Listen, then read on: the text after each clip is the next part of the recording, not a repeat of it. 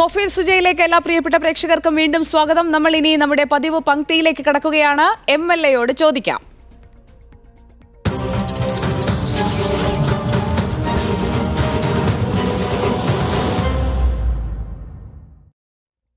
Koyilandy M L A Kanathil ജമീലയാണ് ഇന്ന് നമുക്കൊപ്പം അതിഥിയായി ചേരുന്നത്. ശ്രീമതി കാനത്തിൽ ജമീല സ്വാഗതം coffee സുജയിലേക്ക്. Good morning. Good morning. ഇത് വെറും ഒരു എം എൽ എ അല്ല. ഇത് വെറും ഒരു എം എൽ എ അല്ല. Thalakkulathur panchayat president Chelannur block panchayat president Kozhikode ജില്ലാ പഞ്ചായത്ത് പ്രസിഡന്റ്. അങ്ങനെ ത്രിതല പഞ്ചായത്ത് സംവിധാനത്തിൽ എല്ലായിടത്തും കൃത്യമായ ആ ഒരു മികവ് കാട്ടിയതിന് ശേഷം എം എൽ എ ആയ ഒരു വ്യക്തിയാണ്. അതുകൊണ്ട് എന്റെ വക ഒരു സ്പെഷ്യൽ കൺഗ്രാറ്റ്സ് ഇങ്ങനെ ഒരു എം എൽ എയോട് സംസാരിക്കുമ്പോൾ അതും ഒരു വനിതാ എം എൽ എയോട് സംസാരിക്കുമ്പോൾ ആ ഒരു സന്തോഷവും ആ ഒരു പോസിറ്റിവിറ്റിയും പോസിറ്റിവിറ്റി ഫീൽ ചെയ്യുന്നുണ്ട്. താങ്ക് യു അപ്പോൾ നമ്മുടെ മണ്ഡലത്തിൽ നിന്നുള്ള കുറച്ചധികം ചോദ്യങ്ങൾ വന്നിരിപ്പുണ്ട്. അതിലേക്ക് പോവട്ടെ.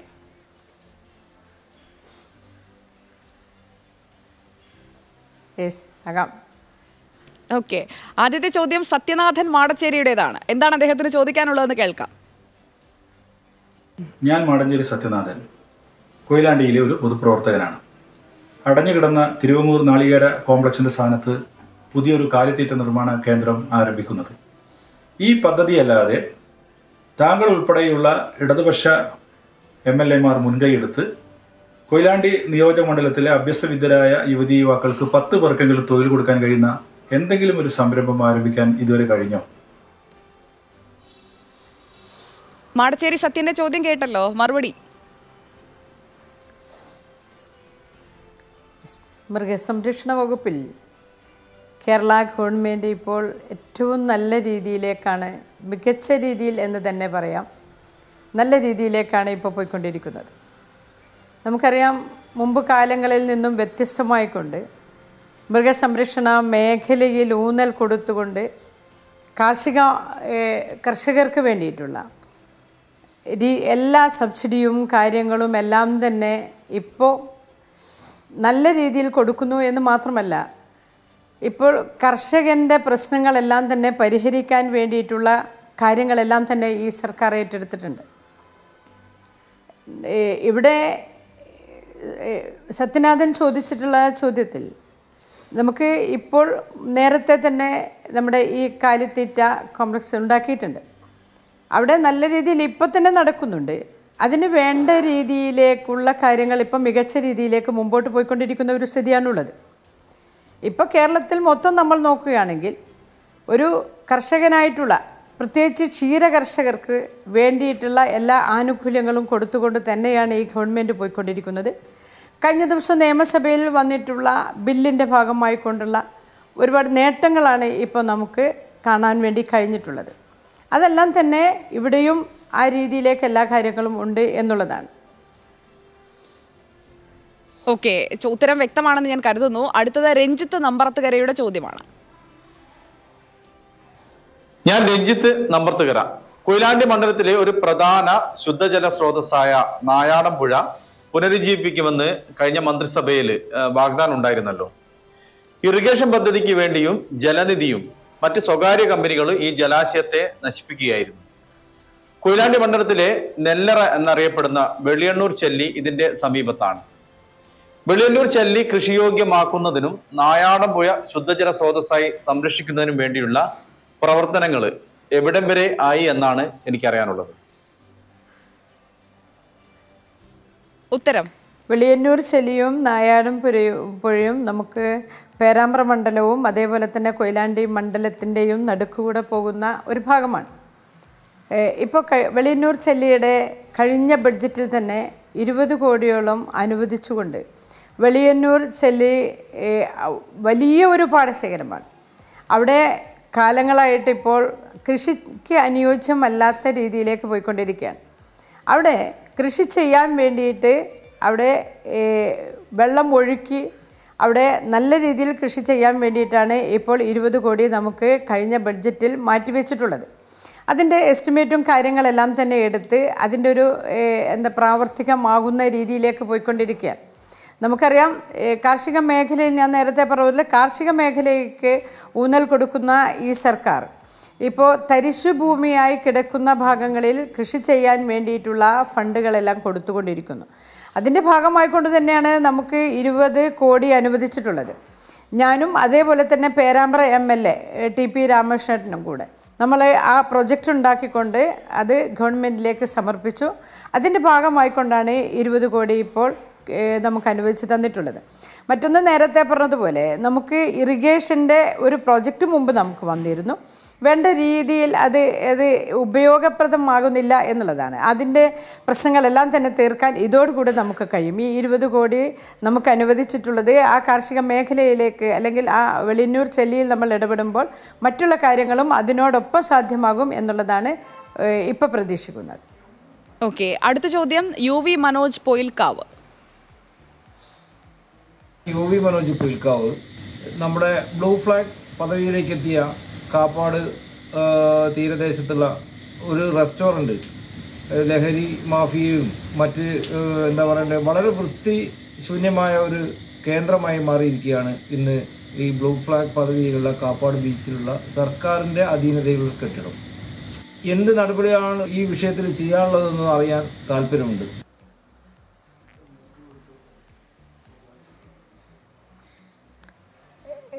നമുക്കെല്ലാം അറിയാവുന്നതുപോലെ ബ്ലൂ ഫ്ലാഗിന്റെ അംഗീകാരം കിട്ടിയിട്ടുള്ളത് കേരളത്തിന്റെ ഏക തീരദേശം അല്ലെങ്കിൽ ടൂറിസം മേഖല നമ്മുടേതാണ് കാപ്പാട്. പ്രകൃതി രമണീയമായിട്ടുള്ള നല്ല രീതിയിൽ ഇപ്പോൾ ബ്ലൂ ഫ്ലാഗിൽ ഒരുപാട് ആളുകൾ നമ്മുടെ കാപ്പാട് ബീച്ചിലേക്ക് എത്തിക്കൊണ്ടിരിക്കുന്ന ഒരു സ്ഥിതിയാണുള്ളത്.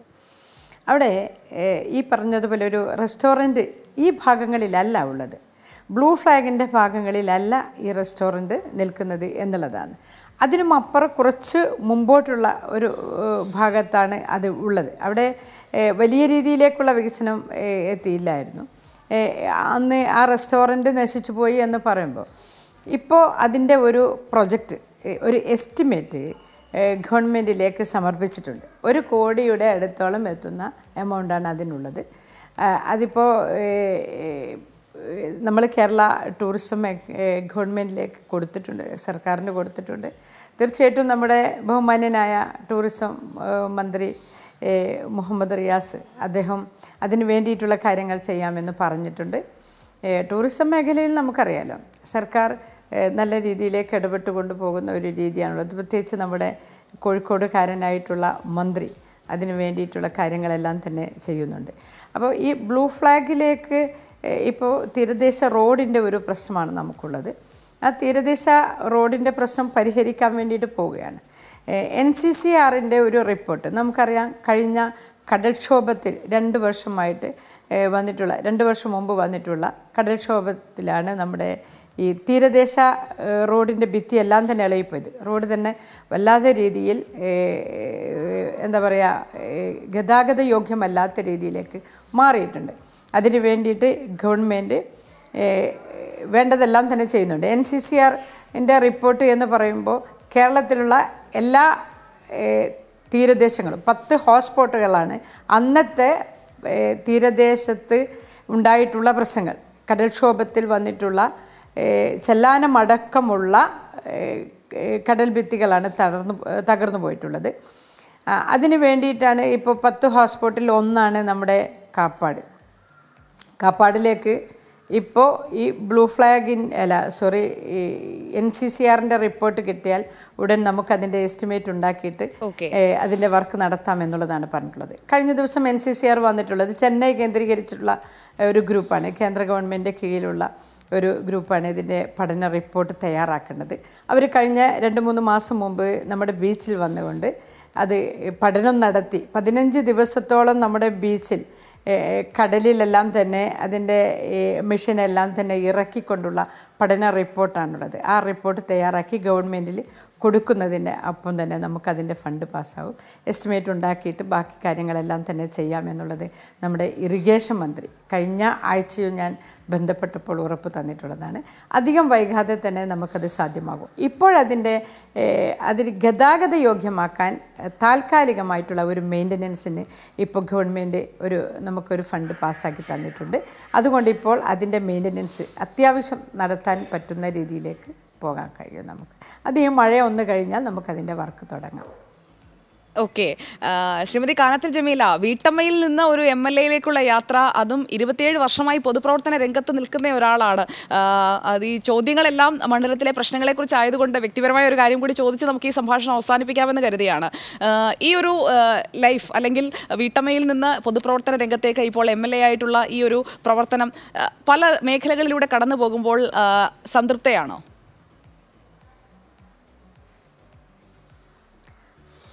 പറയാനുണ്ടോ. സംതൃപ്തി തന്നെയാണ്. ജനങ്ങളുടെ ഇടയിലുള്ള ഈ പ്രവർത്തനം എക്കാലവും ഞാൻ ആഗ്രഹിച്ചതാണ്. അത് നടക്കുന്നുണ്ട്. തൊണ്ണൂറ്റി അഞ്ചിലാണ് പഞ്ചായത്തിൽ വന്നിട്ടുള്ളത്. അതിനുശേഷം പാർട്ടി തന്നിട്ടുള്ള എല്ലാ മേഖലയിലും ജനങ്ങളോടൊപ്പം തന്നെ പാർട്ടിയോടൊപ്പം തന്നെ സഞ്ചരിക്കാൻ വേണ്ടി കഴിഞ്ഞിട്ടുണ്ട്. പൂർണമായിട്ടും തൃപ്തയാണ് എന്നുള്ളത് തന്നെ പറയാൻ വേണ്ടിയിട്ട് കഴിയും. ജനങ്ങളുടെ പ്രശ്നങ്ങൾ ഏറ്റെടുക്കുക ആ പ്രവർത്തനവുമായിട്ട് മുമ്പോട്ട് പോവുക എന്നെല്ലാം തന്നെ പറയുമ്പോൾ ഏറ്റവും സന്തോഷകരമായിട്ടുള്ള കാര്യം തന്നെയാണ്. അന്ന് സംവരണമൊന്നുമില്ല. ഇന്നിപ്പോൾ വനിതാ സംവരണം നിയമമായി മാറിക്കഴിഞ്ഞ ഒരു കാലഘട്ടമാണ്. കൂടുതൽ സ്ത്രീകൾ പൊതുപ്രവർത്തന രംഗത്തേക്ക് ഈ സംവരണത്തിലൂടെ പ്രത്യേകിച്ചും അങ്ങയുടെ സമുദായത്തിൽ നിന്ന് അധികം സ്ത്രീകൾ ഈ ഒരു മേഖലയിലേക്ക് വരുന്നത് നമ്മൾ പതിവായി കാണാറില്ല. അതിനടക്കം മാറ്റമുണ്ടാകുമെന്ന് പ്രതീക്ഷിക്കുന്നുണ്ടോ? തീർച്ചയായും വനിതാ സംവരണ ബില്ല് പാസ്സായി എന്ന് പറഞ്ഞാൽ അത് പ്രായോഗികമായി എന്ന് പറയാൻ പറ്റുമോ സുജ? ഇല്ല നിയമമായിട്ടേ ഉള്ളൂ. അത് ഇനിയും വനിതാ സംവരണ ബില്ല് ഇപ്പം അതെ രണ്ടായിരത്തി ഇരുപത്തി ഒമ്പത് വരെ നമ്മൾ കാലത്ത് നിൽക്കണം. അതിനുശേഷം എന്തൊക്കെ സംഭവിക്കും എന്നുള്ളത് നമുക്ക് പറയാൻ കഴിയില്ല. ഈ ഗവൺമെന്റ് വന്നിട്ടും ഇപ്പോൾ ഒമ്പത് വർഷം കഴിഞ്ഞു എന്നുള്ളതാണ്. ഇപ്പോഴാണ് ഈ തെരഞ്ഞെടുപ്പിന്റെ മുന്നോടിയായിട്ട് ഈ സമയത്താണ് വനിതാ ബില്ല് പാസ്സാക്കുന്നു എന്ന് പറയുന്നതും അത് പാസ്സാക്കുന്നതും എത്രത്തോളം അത് നടക്കും എന്നുള്ളത് പറയാൻ പറ്റില്ല. വന്നാൽ സന്തോഷം തന്നെയാണ്. സ്ത്രീകൾ രംഗത്തിറങ്ങേണ്ടതാണ്. ഭരണഘടനയിൽ പറഞ്ഞിട്ടുള്ള തുല്യമായിട്ടുള്ള തുല്യമായിട്ടുള്ള അവകാശമാണ് സ്ത്രീകൾക്കുള്ളത്. പക്ഷേ ഇതുവരെയും ഒരു രാഷ്ട്രീയ പാർട്ടിയും അത് സാധ്യമാക്കിയിട്ടില്ല എന്നുള്ളതാണ് സത്യം. പക്ഷേ എന്റെ പാർട്ടിയാണ് കുറേയെങ്കിലും അത് ചെയ്യുന്നത് എന്നുള്ളത് എനിക്ക് അതിൽ പറയാനുണ്ട്. പക്ഷേ നമുക്കറിയാം ഒരു ഇപ്പം തന്നെ ഈ ബില്ല് വന്നു അത് പാസ്സായി എന്നല്ലാതെ എല്ലാവരും ഒരേ രീതിയിലുള്ള മനസ്സോടെയാണോ അത് പാസ്സാക്കിയത് എന്നുള്ളത് അതിൽ പറയാൻ പറ്റില്ല. പക്ഷേ എന്നാൽ പോലും വനിതാ ബില്ല് വരിക എന്ന് പറയുന്നതും അത് നടന്നാൽ ഏറ്റവും നല്ലത് എന്നുള്ളത് പറയാം. പക്ഷേ ഇപ്പോൾ ഈ തെരഞ്ഞെടുപ്പിന്റെ തൊട്ടടുത്ത മാസം ഈ വനിതാ ബില്ല് പാസ്സാക്കുക എന്ന് പറയുമ്പോൾ അതിൽ പ്രായോഗികമാകുമോ എന്ന് പറയാൻ പറ്റില്ല. വന്നാൽ നല്ലത്. ഓക്കെ കൂടുതൽ സ്ത്രീകൾ വരട്ടെ. ബില്ലുണ്ടെങ്കിലും അല്ല നിയമമുണ്ടെങ്കിലും ഇല്ലെങ്കിലും എല്ലാ രാഷ്ട്രീയ പാർട്ടികളും കൂടുതൽ സ്ത്രീകൾക്ക് പ്രാതിനിധ്യം നൽകട്ടെ അല്ലേ? അതെ അതാണ് പറയാനുള്ളത്. പക്ഷേ നമുക്കറിയാം മുമ്പ് കാലങ്ങളിൽ നമ്മൾ കുറേ കണ്ടതാണ്. വനിതാ ബില്ല് പാസ്സാക്കാൻ വേണ്ടി പോകുമ്പോൾ കീറി എറിഞ്ഞിട്ടുള്ള സ്ഥിതി അടക്കമുണ്ട്. എപ്പോഴും പാസ്സാക്കാൻ വെച്ചപ്പോൾ അട്ടത്ത് വെക്കാറാണ് സാധാരണയുള്ളത്. പക്ഷേ ഈ ഗവൺമെന്റ് തെരഞ്ഞെടുപ്പിന്റെ മുമ്പോടിയായിട്ട് ഇത് നടത്തുമ്പോൾ സ്ത്രീകളുടെ വോട്ട് വാങ്ങിക്കാനാണ് എന്നുള്ളത് നൂറ് ശതമാനവും നമുക്ക് അങ്ങനെ തന്നെ പറയാം. ബി ജെ പി ഗവൺമെന്റ് സ്ത്രീ സംവരണ ബില്ല് പാസ്സാക്കും എന്നുള്ളത് ഇന്നല്ലല്ലോ. അവർ നേരത്തെ പറഞ്ഞിട്ടുള്ള കാര്യമാണ്. ഈ ഒമ്പത് വർഷമായിട്ടും ഇന്ന് വരെ അത് ജമീല. സ്ത്രീകളുടെ വോട്ട് വനിതാ സംവരണം യാഥാർത്ഥ്യമായിരിക്കുന്നു. അതൊരു നിയമമായി രാഷ്ട്രപതി ഒപ്പിട്ട് നിയമമായിരിക്കുന്നു. ഇനി മുൻകാലത്തെ കുറിച്ച് പറഞ്ഞിട്ട് കാര്യമില്ല. അതിന് വന്നിരിക്കുന്നു രണ്ടായിരത്തി ഇരുപത്തി ഒമ്പതിലും മാത്രമേ അത് നട അതെ. അതെ പ്രാവർത്തികമാക്കും എന്നുള്ളത് ഉണ്ടെങ്കിൽ നല്ലത് വളരെ നല്ലത്. സ്ത്രീകൾ പുറത്തേക്ക് വരട്ടെ. ഇന്ന് നമ്മൾ അനുഭവിക്കുന്ന ഒരുപാട് പ്രയാസമുണ്ട്. സ്ത്രീകൾ ഇന്ന് അനുഭവിക്കുന്ന വലിയ പ്രയാസമുണ്ട്. നമുക്കറിയാം ഈ സമത്വ തുല്യതയുടെ കാര്യത്തിൽ അതേപോലെ തന്നെ സ്ത്രീകൾ അവഗണിക്കുന്ന കാര്യത്തിൽ അക്രമത്തിന്റെ കാര്യത്തിൽ എല്ലാം തന്നെ ഓരോ ദിവസം കഴിയുന്തോറും അത് കൂടിക്കൂടി വരുന്ന ഒരു സ്ഥിതിയാണ്. സ്ത്രീകളുടെ ശബ്ദം പാർലമെന്റിൽ മുഴങ്ങി കേൾക്കേണ്ടത് ഇന്നിന്റെ ഒരു ആവശ്യവുമാണ്. ഇന്ന് എന്നല്ല എക്കാലത്തും. രാജ്യമാണ് മാത്രമാണ് നമ്മുടെ ഇന്ത്യ അതെ സമയപരിമിതി ഉള്ളത് കൊണ്ട് മാത്രമാണ് ഞാൻ ഇടപെടുന്നത്. ശ്രീമതി കാനത്തിൽ ജമീല ഒരു കാലഘട്ടത്തിൽ അതായത് സ്ത്രീകൾ സ്വന്തം സമുദായത്തിൽ നിന്ന് ഈ പൊതുപ്രവർത്തന രംഗത്തേക്ക് വരാൻ മടിച്ചു നിന്ന കാലഘട്ടത്തിൽ വന്ന ഒരാൾ കൂടിയാണ് നമ്മുടെ കൊയിലാണ്ടി എം എൽ എ ആണ്. നമുക്കൊപ്പം ഇന്ന് ചേർന്നത്. ഒരുപാട് സന്തോഷം സംസാരിക്കാൻ സാധിച്ചതിൽ ശ്രീമതി കാനത്തിൽ ജമീല മുന്നോട്ടേക്കുള്ള യാത്രയ്ക്ക് എല്ലാ അഭിവാദ്യങ്ങളും. Thank you